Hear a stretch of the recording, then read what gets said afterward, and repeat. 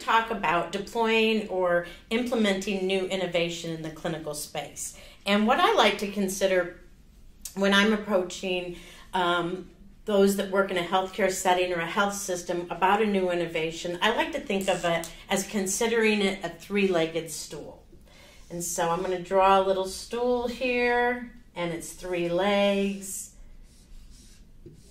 And what I, I consider is that the health system, or rather the adoption of the innovation, is going to be based on the success of having three stable legs of this stool.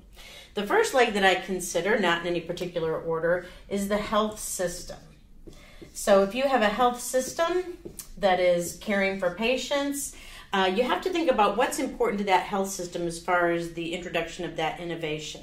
So the health system is of course going to want to know how much is it going to cost them or how much is it going to save them money. They could even think about um, how much it may save them money in the immediate uh, future, but also in the distant future as well. So the innovation needs to meet those demands of cost consideration. Next, I think of the MD leadership. And the reason that uh, MDs need to buy into it is because those folks are the ones that also have cost considerations. Many uh, physicians have salaries that are dependent on RVUs, which is a way to mark out time that you spend doing clinical activities or procedures. So, how does the in, in, innovation impact those RVUs? Does it allow you to increase those, or does it create more demand on your time that isn't reflected in an RVU or some kind of revenue um, generating unit?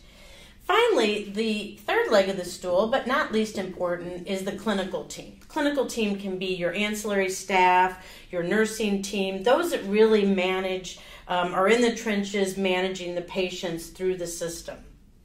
And you have to think about how your innovation is going to impact them. Does it uh, ease their workflow? Does it make it more efficient? Or does it become more burdensome? So, if you take a minute to step in the shoes of any one of these uh, uh, without using too many analogies, any one of these legs of the stool, you want to be sure that each of them can get behind what you're doing with your innovation. If you're able to meet the needs of any of these or all of these three legs, then you um, have gone a long way to support the success of your new innovation.